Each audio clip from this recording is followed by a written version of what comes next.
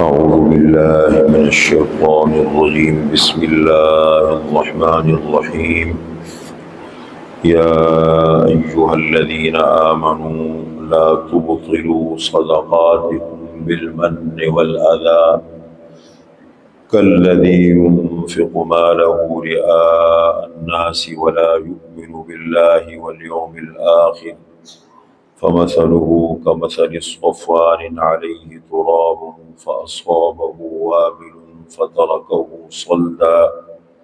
لا يقدرون على شيء مما كسبوا والله لا يهدي القوم الكافرين.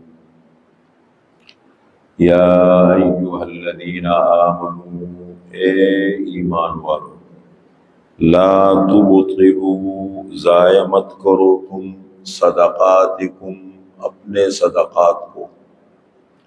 بالمن احسان جتلا کر والاذا اور تکلیف دے کر۔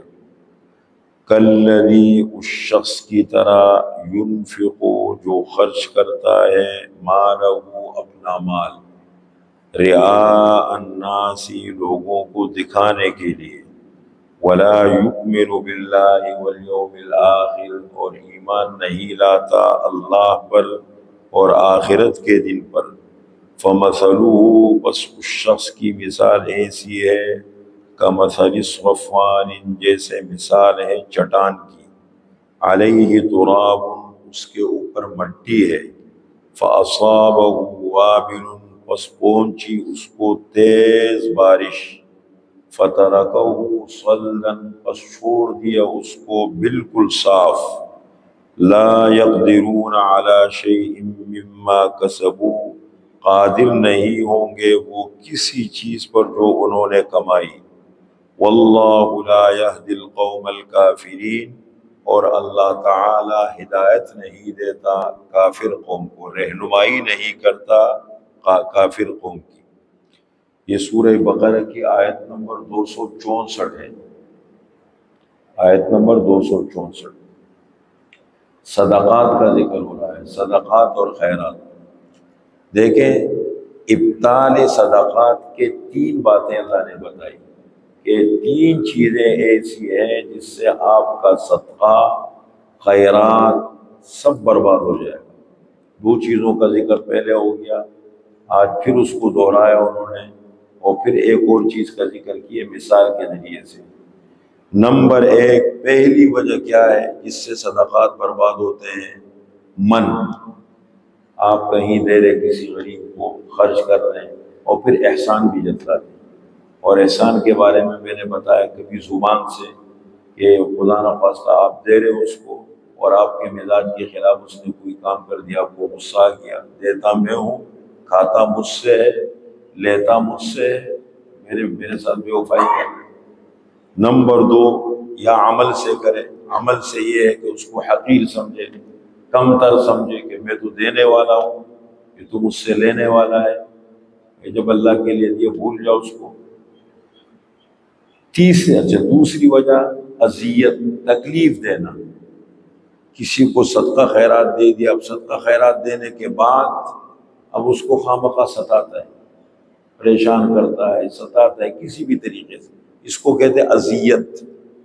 اور تیسری چیز بتائی، ریاکاری، دکھاوا۔ خرچ کر رہے اس لیے خرچ کر رہے ان جگہوں میں خرچ کرے گا جہاں نام ہے۔ اور جہاں نام نہیں ہوگا، وہاں خرچ نہیں کرے گا۔ جہاں ایسے ماحول میں بیٹھ گیا کہ جہاں ذرا نام ملتا ہے، شہرت ملتی ہے، وہاں بڑا چڑھا کے حصہ لے گا۔ اور جہاں دیکھتا ہے کہ نام نمود کا دور دور تک نام و نشان نہیں ہے، وہاں پیچھے ہٹ جائے گا حالانکہ اصول یہ ہے کہ سیدھے ہاتھ سے تو بائیں ہاتھ کو بھی پتہ نہ لگے۔ نیکی کر، سمندر میں ڈال۔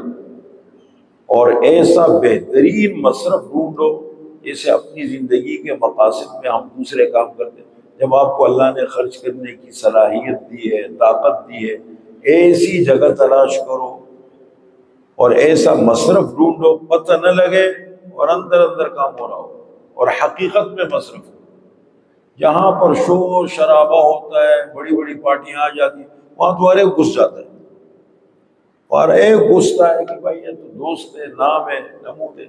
کمال یہ ہے کہ آپ سیدھے نشانے پہ جا کر کے اور مصرف تک خاموشی کے ساتھ پہنچ جائیں۔ دکھاوا نہ ہو۔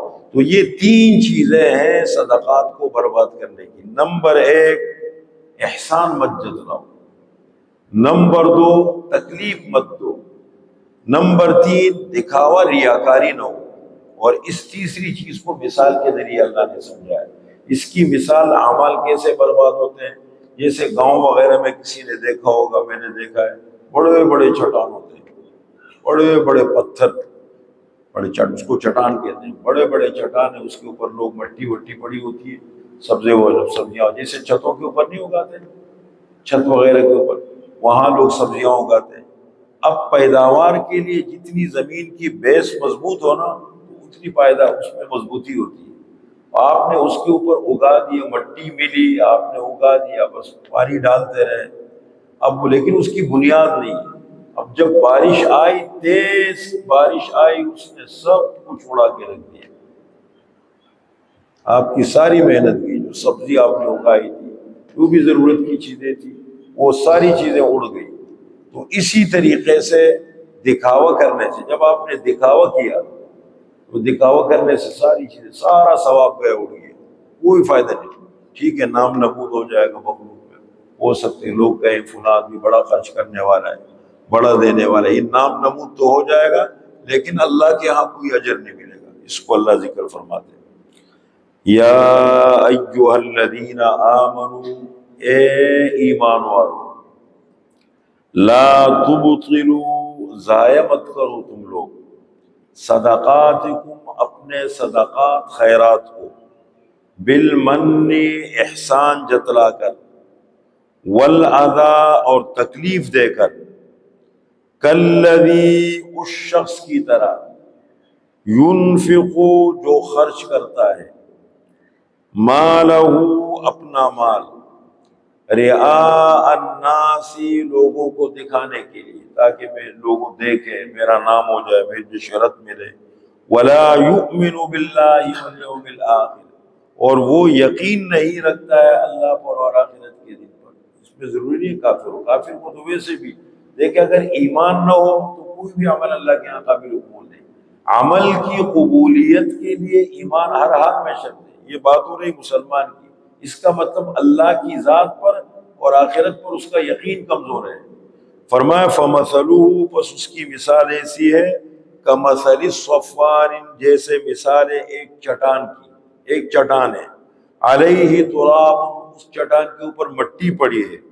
اب اس نے کسی کسی نے اس میں سبزہ اگا دیا، کوئی چیزیں اگا دی۔ اگانے کے بعد کیا ہوا؟ فَأَصَابَهُ عَابِلٌ تیز بارش اس کے اوپر آ گئی۔ مسلادار بارش۔ فتح سلدن پس کر دیا اس کو بالکل صاف، ساری مٹی بہا دی اڑا دی۔ لا يقدرون على شيء مما كسبوا۔ وہ قادر نہیں ہے کسی چیز پر جو انہوں نے کمائی۔ وہ سبزہ دے جو انہوں نے سبزہ اگایا تو سارا گئے ساری محنت ضائع ہو گئی۔ اسی طریقے سے جنہوں نے دکھاوا کیا، اذیت دی۔ اب من احسان جتلایا فرمایا لا یقدرون، قادر نہیں ہوں گے اس چیز پر جو انہوں نے کمائی ہے۔ واللہ لا يهدي القوم الكافرین اور اللہ تعالی ہدایت نہیں دیتا ہے کافر قوم کو۔ کیا مطلب ہدایت؟ ہدایت سے مراد یہ ہے، جب تک آدمی کے اندر طلب صادق نہ ہو۔ سچی طلب آپ کے اندر نہ ہو اور جب تک آپ کا آپ کی نیت صاف نہ ہو، آپ کو رہنمائی نہیں مل سکتی۔ اللہ کی مدد تب شامل ہوتی ہے کہ انسان کی نیت صاف ہو۔ نمبر دو، طلب صادق ہو حق کی تلاش میں ہو۔ اب جب حق کی تلاش میں ہوگا، نیت صاف ہوگی، آہستہ آہستہ اللہ منزل بھی دکھا دیں گے۔ اور اگر ایک آدمی کے اندر طلب ہی نہ ہو، نیت صاف نہ ہو، فرمایا، واللہ لا يهدي القوم الكافرین اور اللہ تعالی ہدایت نہیں دیتا کافر قوم کو۔